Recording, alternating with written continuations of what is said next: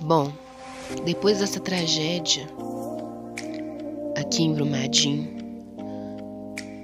tudo que eu quero dizer para você é que se você perdeu alguém, se você tá procurando alguém, que você encontre. E que se você não encontrar, Deus te dê paz.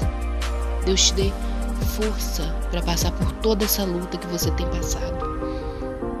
Os dias estão difíceis agora, mas a alegria vem pela manhã quando você encontrar o seu parente. Quando você vê aquela pessoa que você pensou que talvez não fosse encontrar mais. Acredite até o último momento. Mas que acima de tudo, Deus possa estar com você, no seu coração, te protegendo, protegendo quem você ama da incredulidade. Creia, creia, acredite.